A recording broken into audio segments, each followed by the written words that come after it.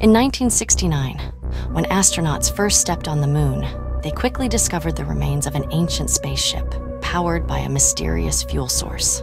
That fuel would soon be known as Technojuice and would fuel humanity's expansion across the stars.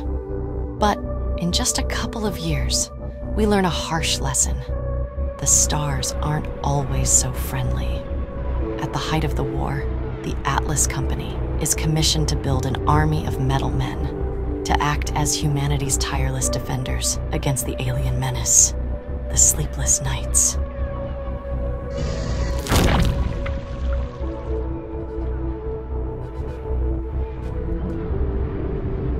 In the trenches of interstellar war, the sleepless knights reigned supreme. Those bugmen from deep space had no idea what they had gotten into.